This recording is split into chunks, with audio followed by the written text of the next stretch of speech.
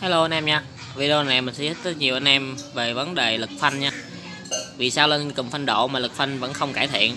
Nhiều người cho rằng là lực cái lực phanh cái cái đi phanh độ á, tông nó lớn thì cái độ nén nó lớn hơn thì độ thì cái lực phanh sẽ được cải thiện rất là nhiều. Nhưng mà tuy nhiên nếu mình không lên đúng bài bản á, thì nó chỉ nó sẽ tăng lực phanh nhưng mà tăng cũng không nhiều. Và chạy một thời gian thì nó sẽ có khuynh hướng là gần như là là, là, là lực phanh sẽ trở về như zin lý do lý do như thế này nè hướng dẫn em cách để mà kiểm tra lực mất lực phanh luôn nha.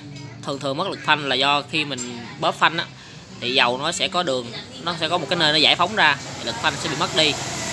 Thì một là do rò, rò rỉ dầu ở trong cái cái, cái phốt này hoặc là phốt heo. Và cùm độ thì thường là không có chuyện nó xảy ra. Thường thường là sẽ với con heo mình tại heo mình đi cũ rồi cùm thì nó mới. Đó.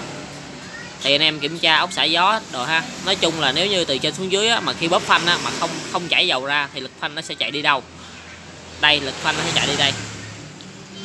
Đối với cái ống dây dầu zin làm bằng cao su thì nó sẽ có tính chất đàn hồi, nó sẽ nở ra.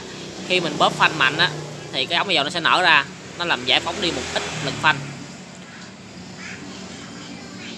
Đặc biệt là khi mình lên cùm độ cùm zin thì lực phanh nó không mạnh, nhưng mà cùm độ lực phanh sẽ rất là mạnh, thì khi bóp vô cái ống nó sẽ nở ra rất là nhiều, làm mất đi cái phần lực phanh từ trên xuống nên mình khuyên anh em là khi độ cùm độ thì tốt nhất là nên bỏ thêm vài trăm nữa mua luôn cọng dây dây dầu. Có cái thiết kế là lõi thép thì nó sẽ không bị biến dạng khi mình bóp phanh. Thì anh em bóp lực lực phanh là 100% thì nó xuống dưới heo thì nó sẽ còn lại là 98% hoặc là hơn, chứ không bị mất đi nhiều. Còn ống cao su zin đó thì anh em bóp 100% nhưng mà khi nó qua ống rồi xuống đây gặp heo rồi nó nở ra cái nữa thì lúc đó là là cái lực phản hồi từ trên xuống ở dưới lên ở trên xuống hai cái gặp lại nó phản hồi nó nở nó công kích vô hết cái ống này. Thì lúc này lực phanh mình chỉ còn lại khoảng 60 phần trăm thôi chứ không nhiều.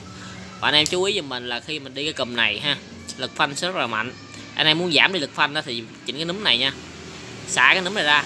Cái tay phanh này mà nó càng nó càng gần vào vào, vào cái cái cái cái, cái tay cầm mình á nó càng thu ngắn lại cái tay thu ngắn lại thì cái lực phanh sẽ giảm đi còn mình xả còn mình muốn mạnh thì mình xả ngược ra ha. Nó càng ra xa thì nó lực phanh sẽ càng mạnh, bóp sẽ càng gắt. Và anh em chú ý giùm mình là khi mình đi với heo zin nhất là những con heo một bit của S150 á, hoặc là winner á, một bit lớn đó, thì cái lực phanh sẽ rất là hỗn khi mình đi cái tay này, cái tay này là dạng như nó phay, nó copy theo RCS 19 nhưng mà thật sự thì bít tông bên trong đây cũng là 19 mm đâm ra lực phanh nó hỗn nhất trong tất cả các dòng xe tay độ, thì lực phanh sẽ rất là hỗn những dòng heo một bit lớn á anh em chú ý là nếu về chỉnh cái núm này mà ra sao quá thì bóp sẽ rất là nguy hiểm nha. Nó sẽ khóa bánh. Anh em chú ý giùm mình. Thì mình lên, mình lấy dầu, mình canh hơi xe gió xong thì mình chỉnh cái núm này cho nó vừa phải ha. Là ok. Đó. Và cùm cùm phanh thì sẽ không có lỗi hay hư gì nha anh em. Tại vì nguyên lý nó đơn giản thôi. Anh em bóp thì nó nén nó nén dầu xuống thôi. Nó chỉ có một tình trạng hư duy nhất là bị xì dầu thôi. Còn ngoài ra, nếu không xì dầu thì cùm mình là đang ở chế độ bình thường, anh em khỏi thắc mắc ha và anh em anh em nguyên lý là thì à, cái cùm này thích hợp với những con heo 4 bit hoặc là những con heo 2 bit lớn mà 2 bit đối xứng. Đó thì lực cái nó cần lực phanh nhiều lực phanh lớn ha khoảng dầu ở bên trong nó nhiều đường dầu nó nhiều thì mấy con này mấy cái tay này hợp.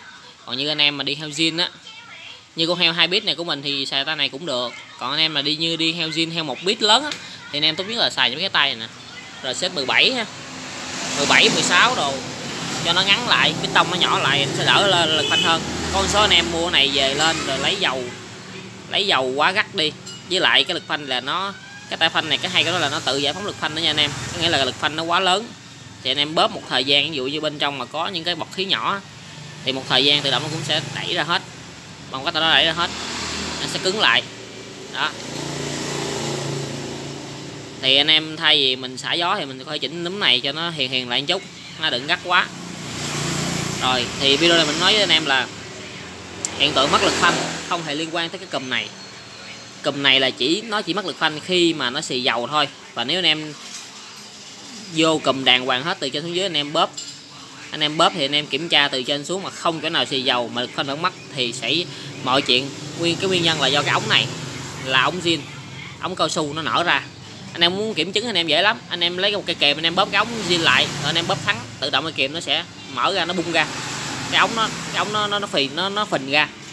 Đó, vậy thôi. Còn thằng này chỉ cần ốc ốc dầu, ốc gió siết cho cứng, ha. Rồi lấy hơi xả bọt đàng hoàng thì coi như là 100% xài, anh em yên tâm. Rồi, video này mình chia sẻ tới anh em như vậy. Cảm ơn anh em đã xem video nha. Lâu rồi không làm video. Bye bye.